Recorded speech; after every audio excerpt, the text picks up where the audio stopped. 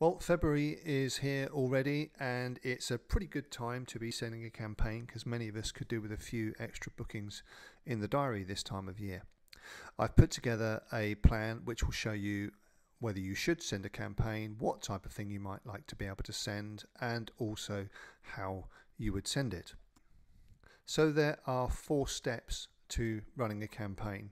The first of which is to calculate if you actually need to run one. So you can do this quite simply, checking your appointment diary and just seeing how much white space there is. And if there's more white space than you would like, then you may well want to send a campaign. Or if you want to be a little bit more scientific about it, you can go into your management and your reports, go into your finance reports, and you'll see your projected revenue report. And if that looks like there's a little bit of heavy lifting to do before you get to a number that you'd be happy with during February, you may want to send a campaign. If you do do that, you'll need to decide what you want to say. Now, again, often what we do when we're putting campaigns together is we tend to think a little bit more along the lines of what we want to give as opposed to what a client might like to receive. So, the perceived value of the offer to your client is going to make a really big impact on the type of engagement that you get when you send your message out. Uh, what we've got here is a selection just to get your creative juices flowing. You might want to use something that's here, or you might want to edit it and uh, make something a little bit more of your own. But I've got three options here. The first is is to get twenty pounds off when you're having a colour and a cut and finish book together. The second option, well, we've got two options in that message where you can get a shampoo and conditioner or a pack of products with a certain service and then a different type of product with another service. I've put shampoo and conditioner with colour and a styling product with a cut and finish. And the final one is if a client makes a certain amount of spend in, in their appointment, they'll get a free gift card. I've put for £20, but again, it needs to be something that you're comfortable with, bearing in mind that you want your clients to be attracted to the deal. Once you've decided that, select your audience, so who you're going to send this to. The rule of thumb here is the more recently your clients have visited, the more likely you are to get a higher engagement with your campaign. And so it's finding a fine line between sending it to somebody that was going to come anyway and shaking the trees and getting somebody to come a little bit early or perhaps spend a little bit more than they were planning to. And then you need to choose when you're going to send it. Now, again, the key thing here is that you need to make sure that your team are available to take the calls. Text messages tend to create a fairly immediate response to a campaign.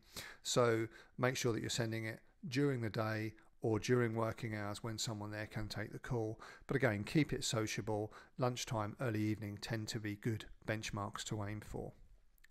To write a template, the first thing you do is you would enter management from your front screen and then choose Marketing and then Letters, Emails and Texts. Select Add on the left hand side and enter a description at the top, which only you'll be able to see. Your clients will not see that. And then put in the content of the message. Now, a key thing here is to make sure that you have a clear call to action that's attractive and the all important telephone number with an STD code. Please don't send a message out with no telephone number in it because it really will affect your outcome very, very negatively. Uh, the messages will automatically insert hi and then the client name at the beginning. Once you want to do your lookup, you would stay in marketing and now choose select clients. And we're going to focus on last visit from and last visit to. What this means is it will exclude any clients that have a future booking already. So my recommendation here would be that you went back a few months, so maybe May or June last year, up until the end of November, early December last year. So we're identifying clients that haven't visited for at least three months or so and do not have a future booking. Because we're sending a text, we need to make sure that the mobile checkbox is entered. And when we've done that, choose select clients, which will then give you the client lookup and show you how many clients you're going to be contacting. When you're happy with that, tick the text box on the right hand side and then choose proceed, where you'll see a list of your templates that you've got in your system. So identify and select the text template that you've put in place for these purposes. And when you're happy with it, choose select on the left hand side. And at this point, your messages start to get generated automatically. It may take a minute or so depending on how many messages that you're sending, but when they're sent, the next prompt will be Would you like to create a promotion? And I'd recommend that you say yes to this.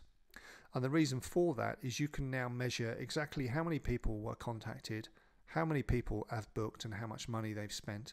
So put your description and your valid from and to at the top of that box, and then you'll see just where the second window is there. It's got display prompt in bookings. If you check that when your client's telephone, it will prompt up and tell the person taking the call that they received that campaign. So it can be reinforced over the telephone once your team get behind it. When you've finished, just press proceed, and that's it. Your campaign is up and running, and you'll be able to measure the exact outcomes that you get as well.